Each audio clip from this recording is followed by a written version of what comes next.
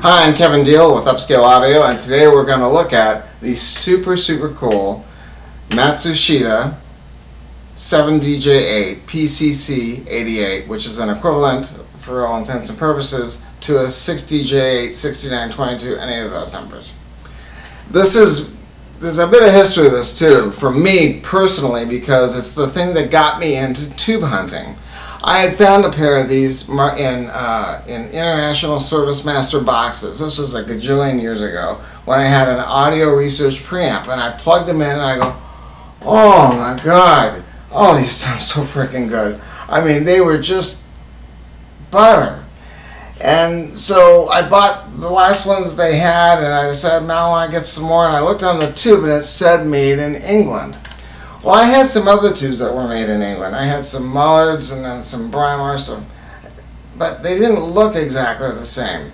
Pins didn't look, just things weren't the same. And that's what started me on this quest of figuring out who's really making what and who's being truthful about making what and, and what's going on behind the scenes.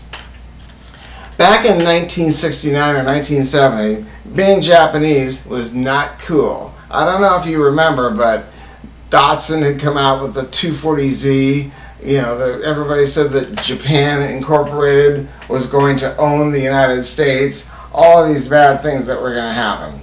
The kind of way the way they talk about China today.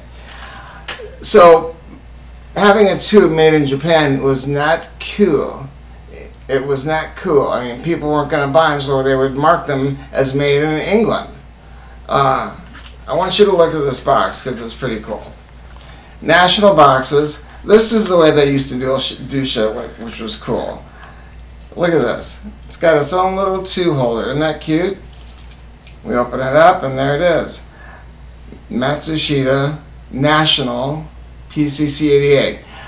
This tube is very organic sounding. That's the best way to describe it. It is not hyper etched. So if that's what you're looking for, something that's bitey on top, look elsewhere. But if what you're looking for is a tube that has that thing that makes you want to melt into your chair, then this could very well be your answer. The cooler thing about it is, is that you sell them for an insanely cool price. This tube, if it was a 60J version, would be twice as much money. If it was a Telefunken or a Mullard version, it would be four times as much, five times as much money. We sell these for a very, very reasonable price, and it makes it easy for you to have some fun without making some commitment like you're getting married or something.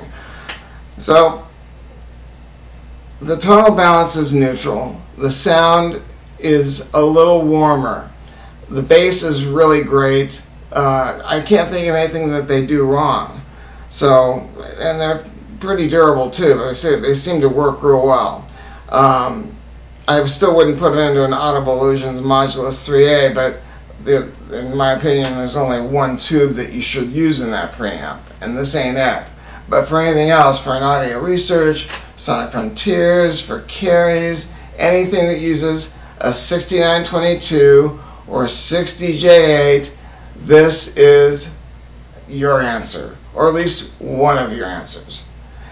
I think that's it. I want to thank you for shopping Upscale Audio. When we test these for you, we're going to do it one by one by one. We're going to put it in a simulated phono stage where we can listen to the tube all by itself with headphones.